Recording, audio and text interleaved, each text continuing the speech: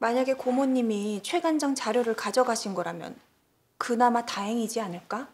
탈법 자료 때문에 최관장이 섣불리 우리 서린을 흔들어 놓지 못했지. 물론 내가 으름장을 놨고 최관장을 구속까지 시킬 결심은 서지 않았지만 하지만 최관장은 도를 지나쳤고 날 가해하려고 했어. 그리고 지은이 너까지 위협하려고 했던 건 그건 참을 수가 없었어. 아니 참아서도 안 되는 일이고. 최관장이 품은 원한 때문에 우리까지 계속 불안하게 살 수는 없어. 화해까진 아니더라도 최 관장 마음 돌이킬 수 있는 방법을 찾아보는 게 나을 수 있지 않을까? 끝장을 보든 그 여자를 달래든 어쨌든 우리한테 탈법 자료는 필요해. 고모님을 만나 뵙고 고모님이 만약 가져가셨다면 뭘 어쩌실 건지 그거부터 알아내야지. 물론 우리 집에 오셔서 그걸 몰래 훔쳐가셨다면 그건 그냥 넘어가서는 안 되는 일이고.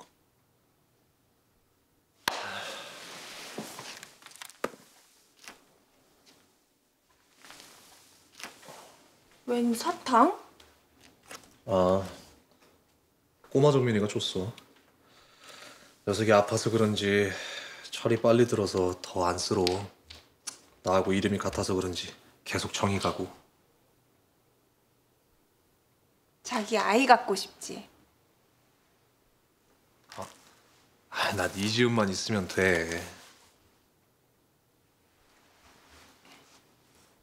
우리 인공수정 해볼까?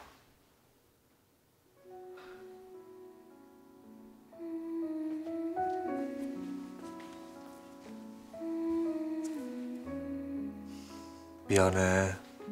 우리 마누라 마음 헤아리지 못해서. 정민이랑 친밀한 관계 알면 우리 여보가 속상해할 수도 있을 텐데. 아이를 이뻐하는 자기 마음 싫은 건 아니었지만 복잡했어. 하지만 아이 가져보자는 말은 진심이야. 인공수정 많이 힘들다던데 괜찮겠어? 음, 우리에게 아이가 찾아오는 축복이 생길 수 있을지 없을지는 모르겠지만 그래도 시도는 해보고 싶어. 야, 우리 딸이 지은이 닮으면 기차게 이쁘긴 하겠다. 응?